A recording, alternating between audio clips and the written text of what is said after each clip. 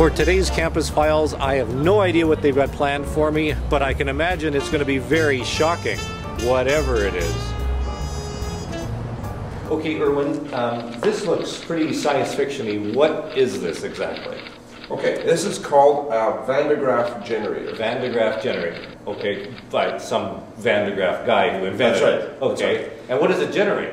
It generates a really big voltage. A voltage. You have this here to sort of demonstrate for students the, the characteristics of electricity, or Uh, or, or to give them an example of static electricity and also some of the impacts that a high voltage can have on a person. For high, instance, high voltage. high voltage. Okay. For example, in your electrical outlet, Yeah. about 110 volts. Okay. Yeah. right? yeah By comparison, yeah. this one, 300 to 400,000 volts. 300 to 400,000 volts. Right. Okay. Uh, but somebody said, is it, it's not the volts, it's the amps, or it's not the amps, it's the ohms or something? How does that work? Okay, uh, you can be killed with a small voltage Okay. if there's a lot of current. Okay. Okay, so even a electrical outlet, Mhm. stick your fingers in there, and, That's and it. can kill you. Okay, Right yeah. at 110 volts. Right. This is a really high voltage, Mhm. but very small current, sort of like a monster carpet spark. Um, oh, okay. Yeah. Okay, a carpet spark can be 20, 30,000 volts. A carpet spark? A carpet Just spark. from shuffling? Yeah, yeah, and you touch the doorknob and bzz. Yeah. Okay, that's, that's that's a good chunk of voltage, but no current. Oh, okay. So you feel a zap, but it doesn't do any damage. Okay, and this is this is like a carpet spark. Just a really big one, like a big one. A big carpet spark. That's right. Okay, you're sure about this? Yes, I am. Okay, okay. And uh, so we can demonstrate it, and you can see it, and you can feel the effect that it has on your muscles. Because when it zaps, you'll feel your muscles respond to it. Oh, okay. Cool. Okay, put your hand on it. Put my hand on, On this. the globe, right. So now what will happen Yes. is you will be charged up to the same voltage as this wall. Okay. Okay? Okay. So as long as you're not touching me or something else connected to ground, you're fine. Nothing will Okay. happen. I'm not going to touch anything. Okay. Okay. I can feel it tingling. Yeah, and I can see what hair you have is starting to rise. Yeah, starting to be a bad hair day. Okay, now, okay, so now you're charged up Yeah. to the voltage of this ball. Right? I can turn it off. Yes. You're still charged up to Yes. that. If you like, you can discharge to ground.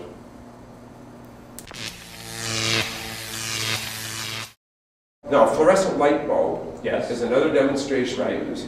It uses a high voltage to excite the phosphor inside the tube, and that's Right, why it lights up. right. So we can use this and just demonstrate how that voltage developed across the tube Right. can actually light up the tube, even though it's not connected to. We're going to light up a fluorescent bulb. Yeah. So get the point, the metal point close.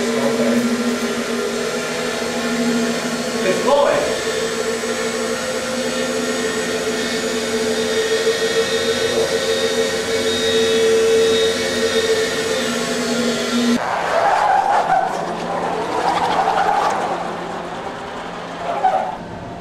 What is this thing exactly? It looks like uh, like a golf cart of some sort.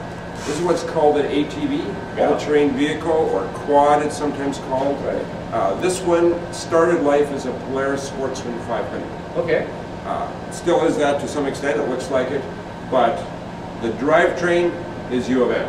Okay. Okay, so the outside Polaris, the inside U of M. We have built this into an electric, This is an electric ATV. 100%.